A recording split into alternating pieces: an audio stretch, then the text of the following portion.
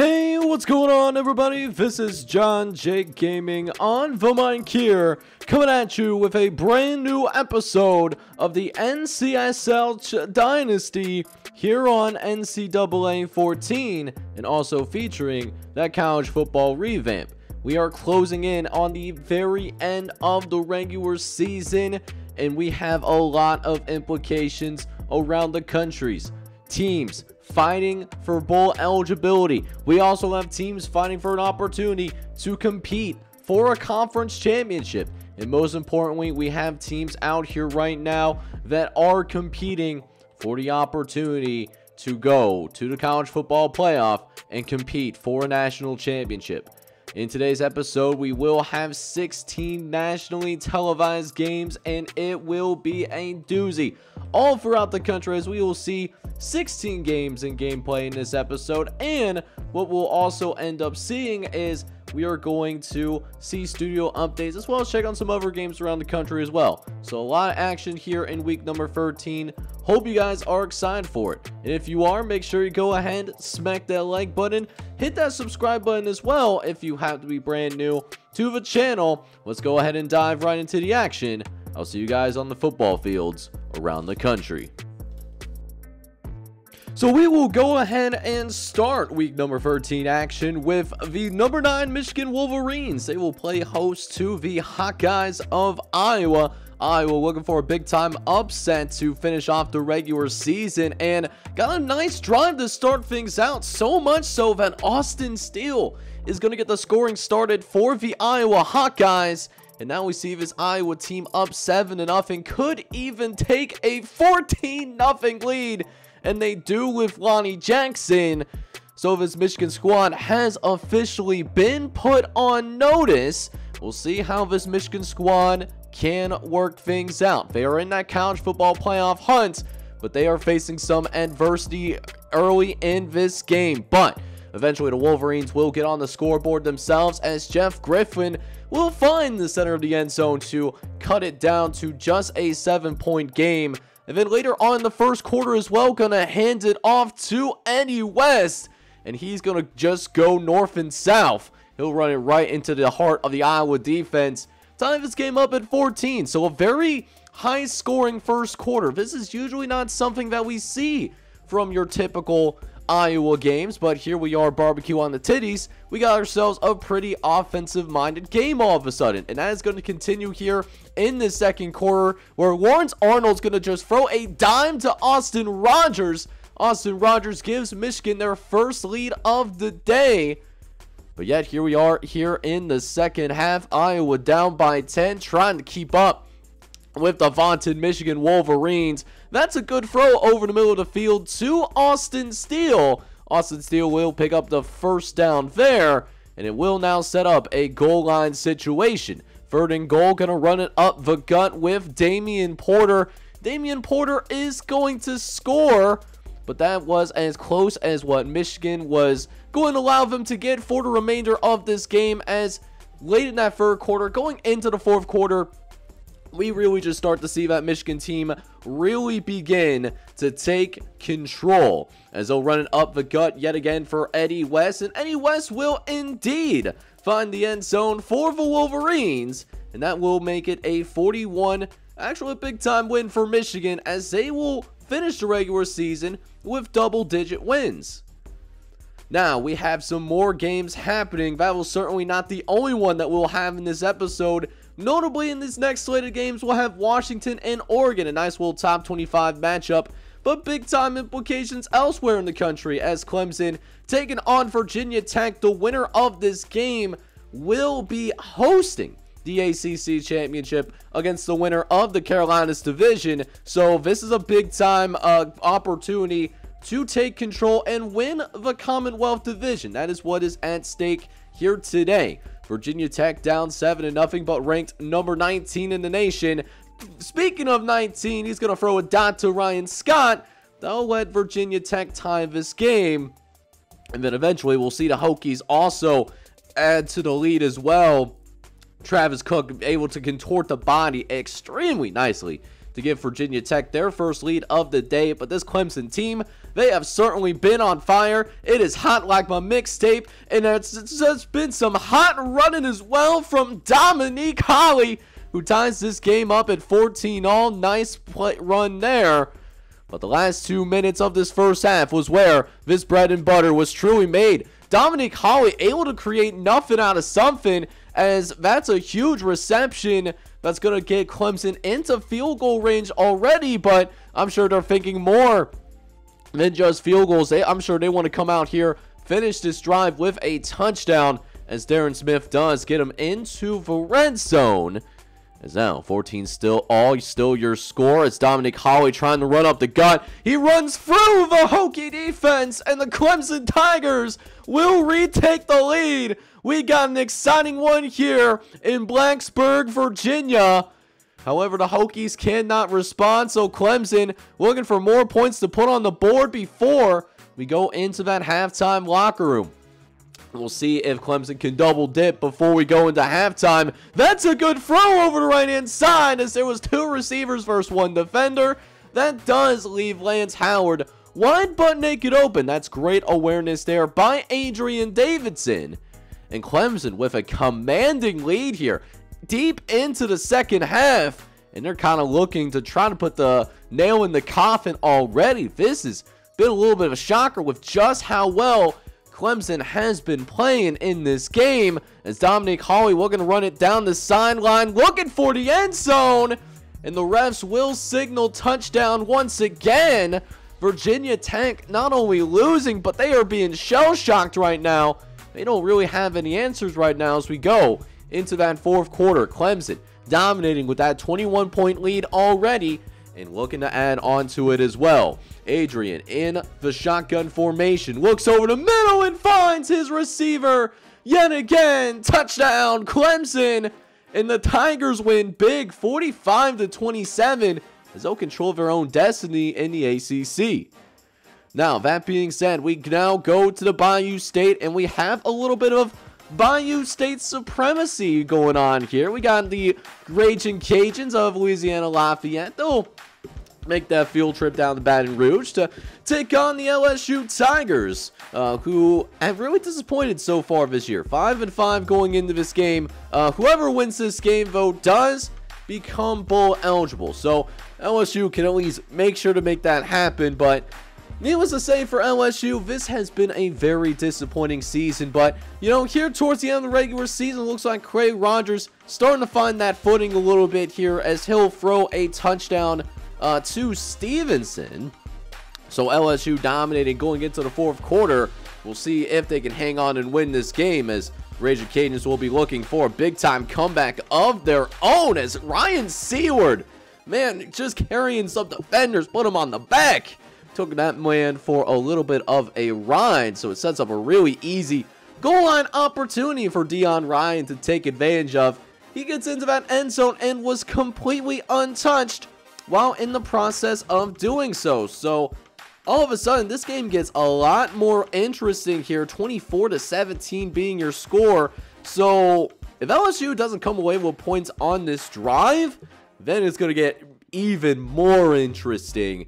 And here we are, third and 17. They need a first down. Rogers firing downfield and finds Quaden Stevenson once again. He had that touchdown earlier in the game. And now the Raging Cajuns out of timeouts, but LSU choosing not to run out the clock. Instead, the custom Travell Bankston is going to score for LSU. Trying to add a little bit of style points there, and they certainly accomplished that. So LSU, they will be guaranteed to be bowl eligible. Now we go to our first top 25 game that we have in this episode. One of three such top 25 games, two of which happening in this Pac-12 conference. We start with Washington going on the road to take on Oregon, who just got back into the top 25. They're ranked number 24 in the country, but Oregon's certainly going to be challenged by this Washington rushing game. They know a thing or two about running the football, but they also have been finding the passing game more often as Jason Smith fires a ball at the Brandon Turner. That's a 42-yard reception. And eventually the Huskies Late in the first quarter, they got a great drive. And it's going to end with a Washington touchdown. I'm going to call it a passing touchdown. That was technically a forward pass. I don't know how they pulled it off, but the refs will uh, call that a forward pass. So Washington will have a 7-0 lead late in the first quarter, but Oregon looking to answer back though. Montrell Hawkins, the FCS transfer, well, he just, he bamboozled himself. He puts the ball on the ground. Got a decent carry too, but got a little bit too greedy and it's going to Washington going the other way. So we'll see if Washington can take advantage of that as Jason Smith he run that triple option to perfection. Look at him go down the sideline. And he is going to be pushed out of bounds. But that was a 28-yard run for the quarterback, Jason Smith. And now it's a goal line situation. Start of the second quarter. And it looks like Washington will score yet again. This time it is Adrian Nicholas who finds the end zone through the air beautiful job setting up that halfback screen. So if Oregon wants to win this game, needless to say, they need to get at it quickly and just a man one butt naked open. It's David Miller with a 52-yard strike touchdown Oregon. And the Ducks are right back in it. And Autzen Stadium finally has something to cheer about. Was able to see the stadium in person earlier this summer. Man, it's a beautiful stadium. But Seven point game between these two teams. We're getting down to the last minute here of this first half. And if I'm showing special teams, you already know something's about to go down. Breaks a couple of tackles down the sideline. It's a foot race, not one. Then he loses easily, and he is going to be gone like a girl in a country song. Touchdown, Washington. And the Huskies extend their lead. And how about that for an emphatic statement going into the end of the first half? So Oregon down by 14 as we get into the second half of action. But Jeff Brady looking to even things up a little bit as that's a big time run for the Oregon tailback. A 50 yard carry. And that sets him up for a goal line set for them right now. And Jeff Brady looking to finish, and he does. Just shows that he is not getting tired anytime soon. Oregon again back in this ball game. Will now cut to that fourth quarter, though. And we actually didn't have anything crazy happen that fourth quarter. I know it was a little bit anticlimactic, but Washington's still able to hang on and win 24 to 20. Now, that being said, we now go to the Southeast to check in on a pair of top 25 teams out in the SEC.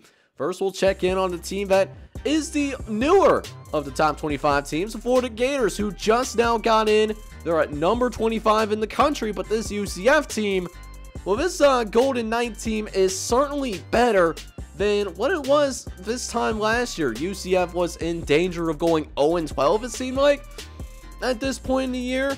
But now they're playing, they're still playing meaningful football. They're 5 and 5. Winning this game will make sure that they are indeed bowl eligible. So we'll see if UCF can pull off a big upset towards the end of this regular season. Here we are late in the second quarter. Gators up by 10. But UCF looking to find the end zone for the first time today. And they are going to get it. Touchdown UCF. The Knights are back to within just a field goal. But now Florida trying to get busy with it. Trying to add some points before we go into halftime. One of the last plays I will see in the second quarter. BJ looking over the middle and finds Mike Hairston for the touchdown yet again in the Florida Gators with a 17 to 7 lead. Meanwhile, in the second in the second half of this game, BJ Peters really making it difficult on himself. I honestly thought he should have had a touchdown there. Probably not the best vision, you know. This Florida team still kind of building themselves up a little bit more, but they're still having an excellent season. And how about Peters just absolutely faking everybody in the stands right there? Nobody was following him to the end zone as the Gators win this game pretty comfortably, winning set by 17. Meanwhile, we'll check in on the most dominant teams in the country. How about Georgia coming in 10 and 0? And if they win this game, they will be ensuring that they get to host the SEC championship. We'll see if they can handle their business against Georgia Southern. Georgia Southern looking to stay alive. bowl eligibility hunt, but they need a big time upset in order to make that happen. But seems like this Eagles team could be up for the occasion. How about this run over the left hand side? He said, Buck Miller said, get away from my lemonade stand. That's a good run there by Buck Miller. We'll see if they go back to that read option. And sure enough, they do. This time, Buck Miller gets in untouched. And all of a sudden, we have ourselves a football game. This this could get interesting all of a sudden. I expected a blowout. Oh, this might be it right here. Georgia with a bigger lead. 21 to 7 at the end of the first quarter of action. This is what we've been accustomed to watching Georgia football. But again, but when we just think that this was going to be this runaway game, that they're going to go and be comfortable, well, Reggie Jefferson's going to make sure that they do not let that happen as Georgia Southern, they're going to score there. It makes it 28 to 14, but I mean, if Georgia Southern's going to win this game, because defense is doing their job, they really have been doing their job, defense got to step up. They got to find a way to get some stops here in the red zone, because Georgia has been able to do whatever they've wanted so far in this game as Adam Williams, again, is going to score. That means Georgia is on pace right now to score 70. The score 70 in this uh, nationally televised matchup, but here we are in the third quarter. Georgia Southern was able to add a field goal off screen. But we'll see if they get more aggressive here. Maybe go for some two-point conversions because it's clear that maybe the defense is not going to help them all that much. Is this a great run here by Skip Brown, the FCS transfer? He'll find the end zone. And sure enough, Georgia Southern still making things interesting. This offense is humming at a high level. It really is. Buck Miller is going to make sure that they get to 30. This is a season high in which Georgia has allowed the entire season. No one has been able to score 30 points against this Georgia defense. Georgia Southern, who might not even make it to a bowl game, they just accomplished that. So shout out to Georgia Southern for even being able to accomplish that in the first place. But again, that defense is just really letting them down here. Georgia again is going to score. They're on the verge of a 50 burger. Adam Williams also breaking a record there. And speaking of records, we'll see another one here for Zach Grigsby. He's going to find the end zone yet again, and you can tell that Andre Bryant really loves this guy because Zach Grigsby, he's going to have his 14th touchdown of the year. That is a single season record at the University of Georgia. And the Bulldogs, well, they will be hosting those SEC championships. So now we go into the coveted Battle of LA. USC, ranked number one in the country. They will be taking on the number 12 ranked Bruins of UCLA. This Bruin, this could be a fun one to watch for sure as USC looking to continue their dominant season. They have already clinched the uh, a trip to the Pac-12 championship. They have a pretty sizable lead against UCLA here. But UCLA could uh, play a little bit of spoiler, maybe make it a little bit harder for USC to make it to the college football playoff. You can tell right away, UCLA, they came ready to play as Brent Childress gets a big time run there. That is his ninth touchdown of the year. It's been a solid year for, for Brent Childress and not a liquid or a gas. However, USC, they have a big time offense of their own. Ben Scott, he's got an arm on him for sure as USC quickly is going to even it up as Jeff Evans, he's just going to run away from the entire UCLA secondary. And that was even with Ben Scott having a man in his face. He was completely unfazed by that pressure. We could be in for a little bit of a shootout on our hands as we get late into the first quarter as UCLA we're going to retake the lead. We got another man open and UCLA scores again. Sean Rivera with a 66 yard strike will score for UCLA. My word. That was a big time throw or what? That is incredibly sexy to watch. I'll tell you what. So UCLA will take the lead there. And we have a little bit of a lull in scoring after that, but three minutes and a half left in the second quarter. Ben Scott, he rediscovers the end zone. He'll find Myron Jones in the back of it. Beautiful dot, by the way. as Ben Scott will get his second passing touchdown of the afternoon. It's been a good afternoon for Ben Scott. 10 for 13, 138, two touchdowns. He's been he's been rising up to the occasion for sure. He, he's really have been doing that. We'll see if he can do that again here with two minutes left. Scott's got some time, and he's going to find a wide butt naked open Jason Clayton, who's going to score again for USC. Ben Scott with his third touchdown now. He's been be living in the nightmares of the UCLA defensive coordinator all night long. Wow, that was a big time throw again by Ben Scott. Just looking through his progressions and doing a wonderful job. And you can already tell that Ben Scott is going to be in for a big day. But we'll see if the other aspects of the team can also step up as well. We might see that here. A touchdown on the ground? Not quite, but USC does almost have 100 yards rushing. We'll see if they go back to that ground game, and it looks like they will. They will allow John Concepcion, the FCS transfer, to find the end zone, and USC again will make it a 28 to 14 lead. But here we go now later in the third quarter. Again, Ben Scott going to work. Who's supposed to govern that guy? There was absolutely nobody around him. That might be the easiest score that Ben Scott is going to have all day. I mean, just absolutely ridiculous. I mean, look at that. No, there was nobody in the picture there practically.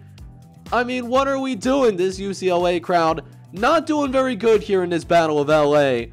But fourth quarter, USC looking to put an exclamation point on this ball game, but the ball's on the ground though. Thankfully, the running back, Nick Richard, just happened to be in the area. He's going to recover the fumble, but third and long though. Third and long situation here in the red zone, and Scott able to work the pocket really well there. He's going to find Freddie Warren again in the back of the end zone. Another touchdown for Ben Scott. He's That's his fifth passing touchdown of the day.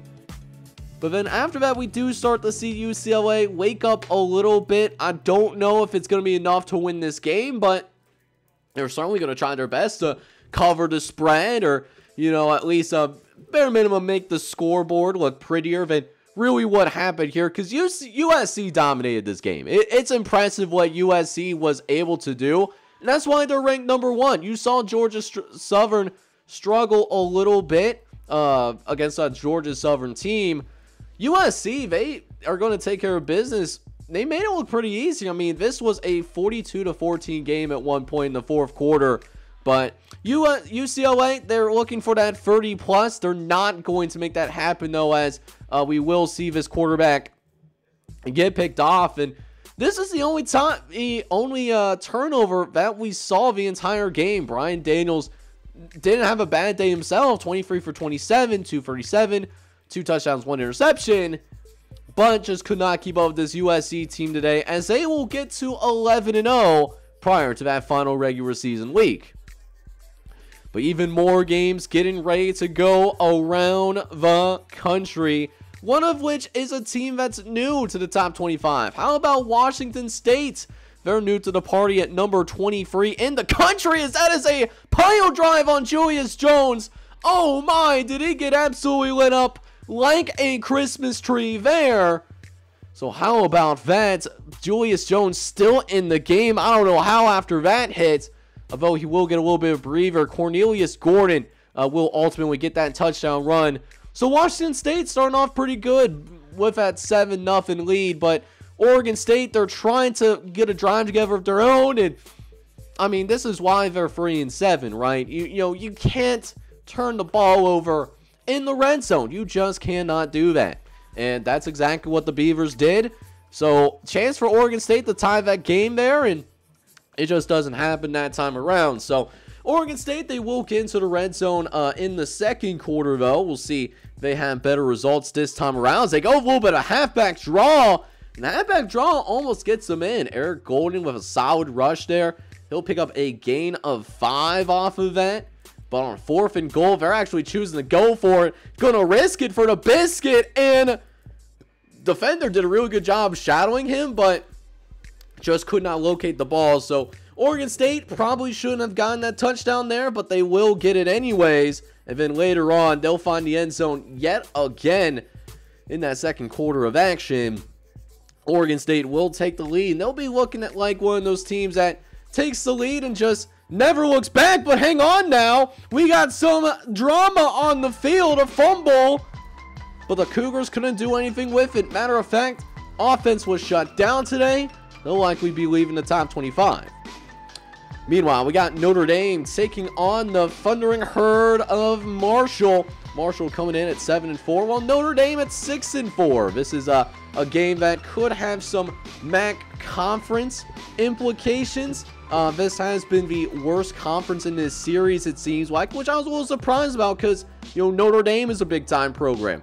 Tennessee is also, you know, one of the bigger programs in the country as well. So I'm a little surprised the conference is essentially as bad as it actually is, but you know, it is what it is sometimes. But that being said, though, uh, what we are going to see here is, well, we'll see what happens with this particular game because this could determine who goes to that MAC Conference Championship game at the end of the season. Still a tie game, too. It's all knotted up at seven apiece.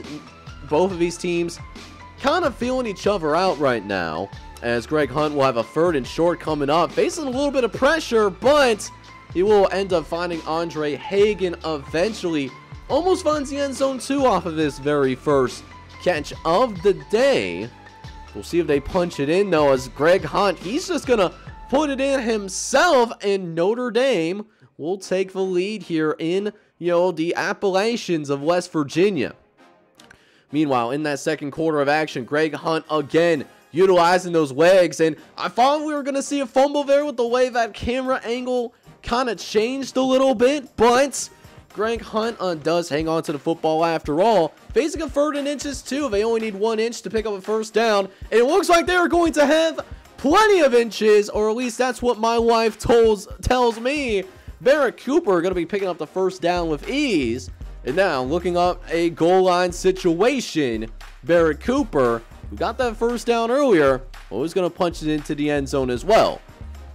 So Marshall is actually down by quite a bit here. Got some work to do if they want to get back into this game, but that touchdown will sure help them there in the third quarter.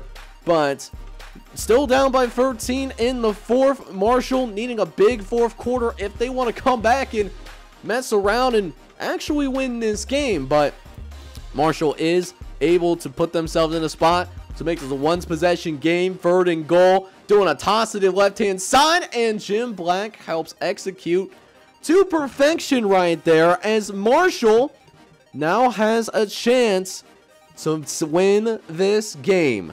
Less than three minutes left. Marshall trying to make some things shake. Quarterback's going to scramble upfield. He's all by himself down the sideline. He's going to finally be pushed out about the 20 yard line. Good timing too because Dante Weber did put the ball on the ground. You do absolutely hate to see that. But here we are, goal line situation. Marshall got a chance to win this game. Third and goal. Weber dropping back. He's got some time. Fires over the middle, but it's intercepted. It's going to be picked off, and it's going to be over. Notre Dame will hang on and win by a Fred. As the Fighting Irish will get their seventh win of the season while Marshall's regular season ends in absolute disappointment. So now, speaking of that MAC conference, could that open a door for a West Virginia? West Virginia, despite the mediocre record at 5 and 5, they could uh, sneak their way in to the MAC championship game as well, albeit probably not as the type of team that is going to uh, play for uh, like hosting the MAC championship. We'll put it like that. But uh, Illinois uh, and West Virginia going at it here, and got a close game here in the early going here. Seven to three being your score. We'll see if Illinois can take their first lead of the day, though. And sure enough, they do. Alex Taylor able to be part of that 10 toes down movement. That is going to be a nice uh, throw there. But, and that was really crucial that they were able to finish the way that they did because it seemed like for most of this game, points were certainly at a premium. There was certainly a premium in, in terms of getting points and getting red zone opportunities. So when teams got into the red zone in this particular game, you really had to take advantage because there really wasn't a lot of opportunities. I mean, we only seen 30 points scored between these two teams at this point, and the game is almost over. But Dan Bishop will give West Virginia the lead here with 325 left, which now means that Illinois is going to have to put a drive together. They want overtime or if they want the win. And it looks like they might be rising up to the occasion as I don't know how that's caught. Alex Walker somehow comes down with that.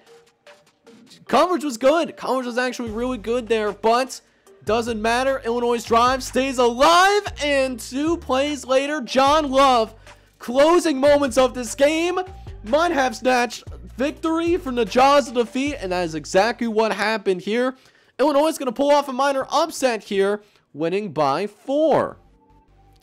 But now, speaking of those uh, average to below average teams. Well, now checking on Indiana, taking on Michigan State. Both teams uh, uh, fighting to try to remain alive in the uh, bowl uh, eligibility race. Indiana's got an offensive coordinator, Dalton Barrettine, you know, looking for, uh, you know, his guys to step up and, you know, play some pretty good football here. But right now, it looks like that's not happening necessarily. Jonas Whitlock gets a good run there, picks up the first down for the Spartans, and will be rewarded with a touchdown in which he actually does not, uh, nobody touches him. Nobody touches him at all, and that was the theme of the day here in this Michigan State and Indiana game. Uh, the Spartans, they were really taking control of this game early on as the Spartans, you know, they knew that Indiana, if they did not bring their A game, they are certainly a team that would have been capable of beating them. But it looks like Michigan State, they came ready to play today for sure as this game never seemed like it was close. Michigan ends up putting a 50 burger as well on the Hoosiers, winning 52 to 27. That being said, we have some time now to get a studio update. We haven't had studio updates yet today. And how about Houston getting a close win against Baylor, 24-23 there. And then that was not the only games that we saw. This is going to shake some things up in the polls. Akron able to stun Ohio State in their regular season finale. Akron wins by six, and now that puts the Zips on the map. But Colorado State puts themselves in that dark horse to make the college football playoff at this point in the season. They now will get to 10 and 1 as well after they got done with a shootout against the Boise State Broncos. Colorado State wins 49 to 42. Finally, rounding out these earlier studio updates, how about South Alabama? They're going to pull the upset on Auburn 41 to 34, which means Auburn will likely be falling out of the top 25 here as well. So now we got a couple of borderline top 10 teams ready to go to work. First and foremost, we got G JD Weeks, the offensive coordinator of Troy. His team will be on national television for the first and likely only time this season. They'll be taking on number 11 Alabama. But this game has been going exactly how Troy wants it to go. You know, JD Weeks, he's a guy that loves to run the triple option, likes to uh, milk as much clock as possible because there isn't a ton of talent on this Troy roster. Let's, let's keep it real for a minute. So Troy has a 7-0 lead here. This has been a very low-scoring game, a type of game that would actually favor Troy, like I said earlier, right? But Alabama, last couple of minutes of this half, they're trying to put a drive together, and you know, Curtis West, you know, is keeping his composure, even though things have not really gone his way, particularly. But there's some fantastic skill guys on this Alabama offense that, you know, he can sure utilize, like Quentin Lake, who just turned a halfback screen to a 30-yard gain. You absolutely love to see that. And then speaking of things you love to see, great throw there to James Robinson. He'll pick up 10 to make this a goal line opportunity as well. We'll see if Alabama can punch it in. West facing some pressure, gets away from a defender and finds Quentin Lake, who will just simply not be denied. He will not be denied there. That's going to tie the game going into the halftime locker room, and it will remain tied going into late in the third quarter, actually. Tim Williams, he's going to get a reception here for Troy as the Trojans are looking to put points on the board yet again. And matter of fact, they will indeed do so with Quan Taylor with a nice seven-yard reception there. So Troy all of a sudden has the lead going into the fourth quarter. They just need one more quarter, and then they're going to pull off a massive upset that could very well help them out in recruiting, but just wasn't meant to be here today as Alabama. They're going to kick a last second field goal, so not a pretty game for Alabama at all. This was a D minus type of game for Alabama, but Crimson Tide are still going to finally win the game, even though they could have played significantly better. Now, that being said, we'll now check in on the defending national champions, the number five Miami Hurricanes. And the Hurricanes, you know, looking to finish this regular season as strong as well, looking as if we will be seeing um, Georgia. They will be seeing Georgia in that SEC championship type of rematch. That would be a rematch between those two programs last season. But Miami, they are going to uh, actually uh, be an interesting game against Southern Florida. We haven't really seen uh, the Miami offense really be itself as of recently. Not what we've been accustomed to seeing maybe in season number one. Might be some uh, some chinks in the armor, but defense is still playing really well in that. Only allowing the Bulls to get a singular field goal so far. And Mr. Carter will eventually get some uh, some points on the board as well. So 20 point lead here between Miami and Southern Florida, but the Bulls are going to make this ride a little bit interesting now. Uh, Derrick Brooks is going to run it up himself. He'll pick up a few yards there. He's been a guy that's been carrying the rock a lot for this USF offense, but finally USF will indeed find the end zone. But, you know, while Miami's offense wasn't great in this game, they did enough to win, winning by 13. But that being said, we have some more studio updates waiting for us for starters. Ole Miss is going to be able to put up a 50 burger against Southern Miss. Then Arkansas State also winning a very close one against Memphis as well out in the Sun Belt. And of course, in other news as well, we got Arizona and New Mexico uh, finishing up. In New Mexico, they've really been streaking so far. They win this game 38 to 17 as we now get into the final three games that we have here uh, in this particular episode. Well, now we'll start things off with Penn State going on the road to take on the Eagles of Boston College. Penn State uh, looking to get closer to that double-digit win type of season and doing good in doing so 10 to 3 being your score. But boston college you know they're trying to get out of that little funk of theirs themselves. They started the year 5 and 2 but they are on a free game losing streak right now. Uh, it's been a little bit of a collapse for the boston college eagles or maybe they're just being exposed for what type of team they actually are because boston college schedule was always a little bit tougher towards the back end of the season, right? So Boston College actually does have the lead though, and the Nittany Lions looking to go to work. How about this guy making some guys miss, and there's nobody on screen now. Danny Davis able to Houdini his way into the end zone. Touchdown, Penn State. And the Nittany Lions will take the lead. But Victor Cross looks to respond though. Less than a minute left. He fires a dot over the middle of the field. That's a nice throw for this experienced quarterback. So here we are again. Can Victor Cross keep it going? That's another great throw over the middle. This time to Willie Stewart. Victor Cross doing a great job leading his troops down the field. Still has a timeout too. But Cross on the very next play, he gets a little bit too greedy. Went to the well too many times. And Penn State it's to make those dreams come to an end real quick.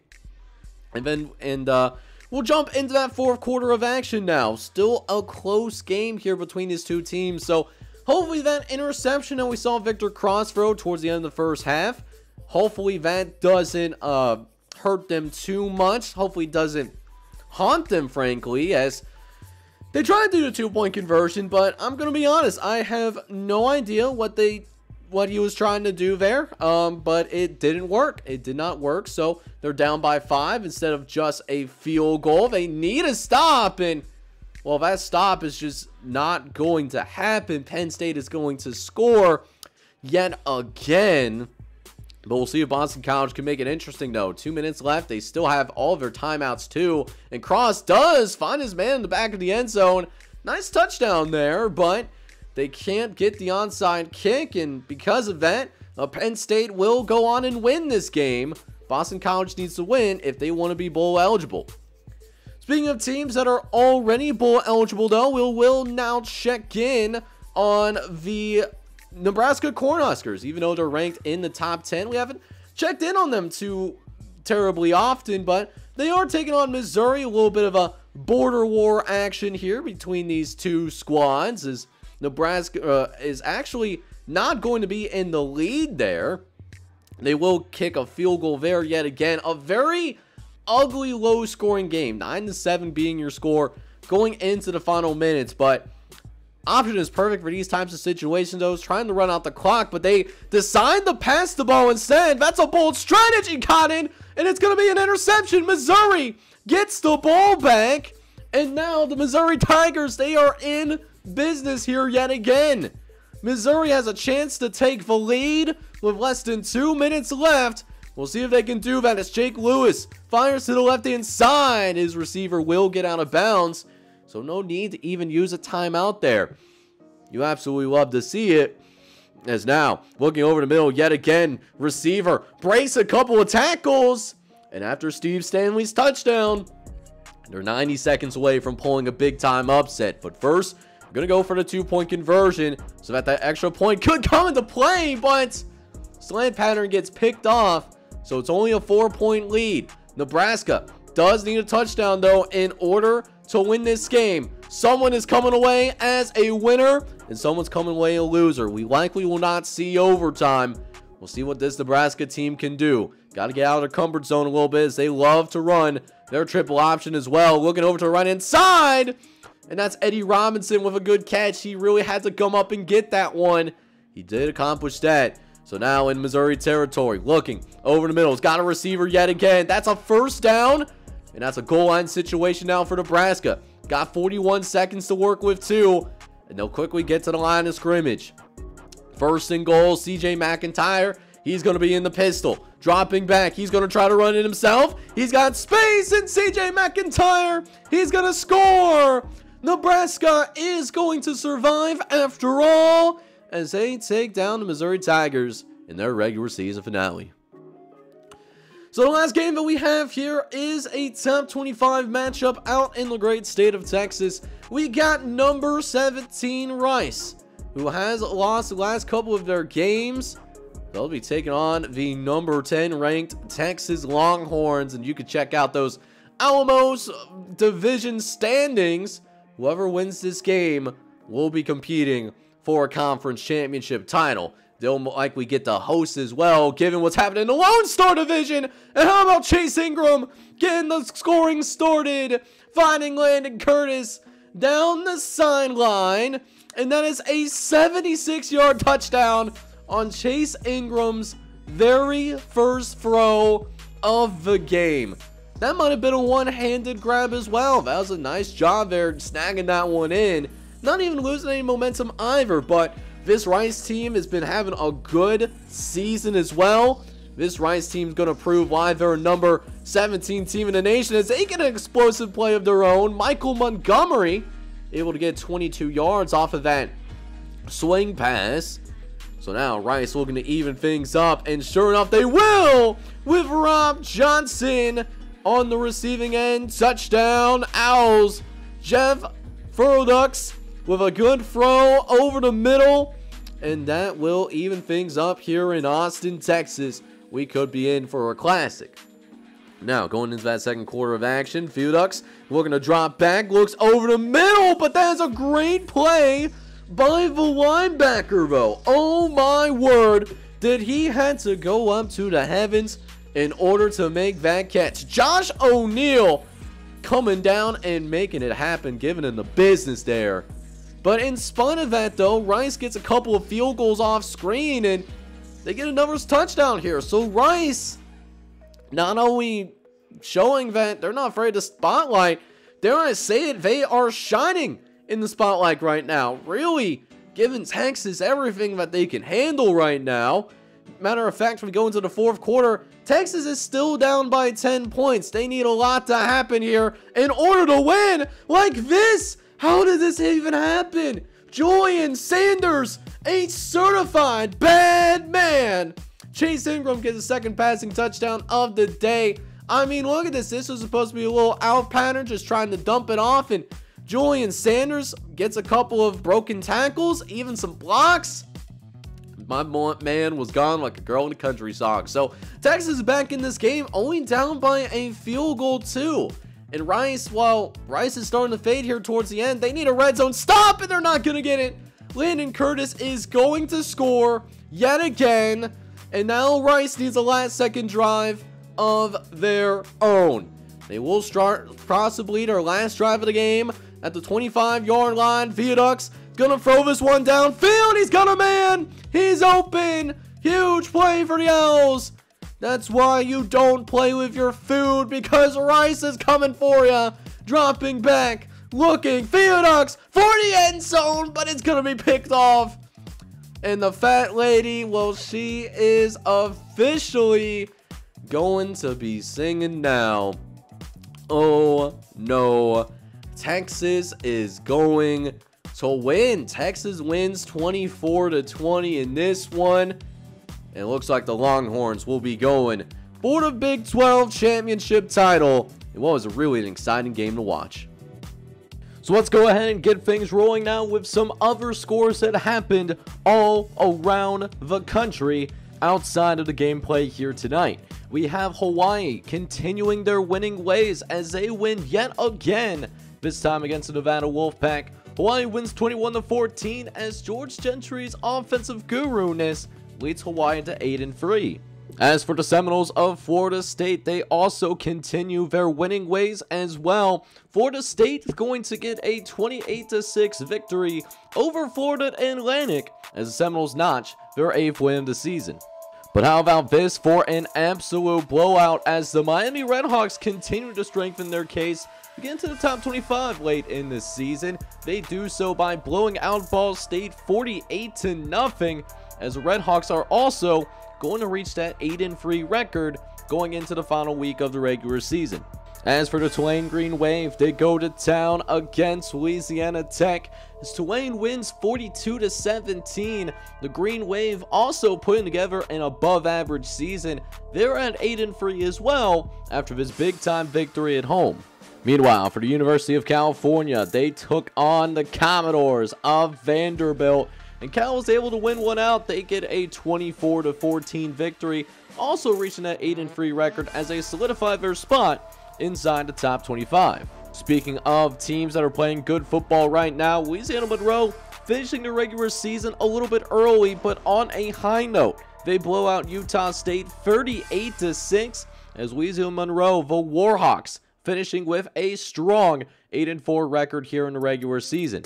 As for the Rutgers Scarlet Knights, they are going to enter the top 25 as well, doing so by beating Texas State 45 to 31. Rutgers finished their regular season 8 and 4 and will look to finish in the regular season in that top 25.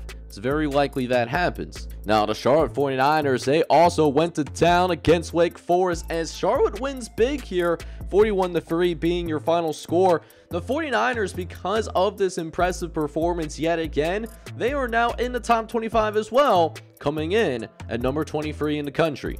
Meanwhile, the Minnesota Golden Gophers will find themselves in the top 10 firmly.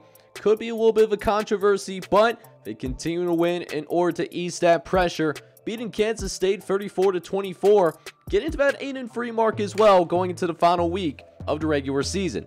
But we get a big time win from the Bowling Green Falcons taking down Eastern Michigan. And in that last conference standings update, I talked about both of these teams. So Bowling Green, if they can win their regular season finale in the next episode, it'll be they and not Iowa that will be going to that American Conference Championship game to try to take down the Nebraska Cornhuskers. We wish the Bowling Green Falcons the best of luck with that, but it's a great win here in a game that they needed for conference implications. So now here we are going into the AP top 25 and as of right now this is what your top 25 is going to be looking like going into the final week of the regular season. And aside from that big upset that Ohio State did have, we honestly didn't see too many changes. A lot of schools did end up moving up one singular spot. We do end up finding where Ohio State ends up. They fall all the way to number 11 in the country. That loss to Akron was a tough pill to swallow late in the season as there's not a lot of opportunities to make up that ground. So Ohio State could be in trouble in terms of going to the college football playoff, even though they only lost one game because of the conference really not pulling its weight necessarily. But we do have some other notable changes. Tulane moves up two spots as well. They go to number 16. UCLA falls down five spots to number 17 after their loss to USC. Hawaii moves up a couple spots. They continue uh, their strong finish here in the regular season. They're up to number 18 in the country with the Florida State Seminoles up to 19 representing for the SEC. Rice, however, they lost their third consecutive game. They're going to be out that Big 12 championship hunt, but they're still hanging around at number 20 though. It's been a good season. Rounding out your top 25 though is Florida at number 21. Rutgers, as we mentioned, and Charlotte both breaking into that top 25. And then rounding out your group is Virginia Tech, who's going to hang on here at number 24, and Syracuse, who gets back into the top 25. They've had a pretty good season at 7 and 4, but it looks like they will not be returning back to the college football playoff. But there it is, guys. We only have one more week of regular season football, and then we get busy with it with that postseason action. Next episode, we will wrap up the regular season. And as we show gameplay in week number 14, what I will also do as well is show you the conferences, the top five conferences that will likely get an automatic bid because automatic bids are not based on the top five conference champions. It's based on the top five conferences. It kind of accounts for that strength of schedule. So it's going to be fun. I can't wait to see how things turn out in that final regular season week, as well as see how things are shaking out in conference races, who's going to get those automatic bids for their conference. It's going to be fun to watch, and I hope you guys are excited for it. If you are, make sure you go ahead, smack that like button for me, hit that subscribe button as well. If you do happen to be brand new to the channel, this is John J. KV on the mic signing off. Hoping you guys are all out there having a good one. Take care, everybody.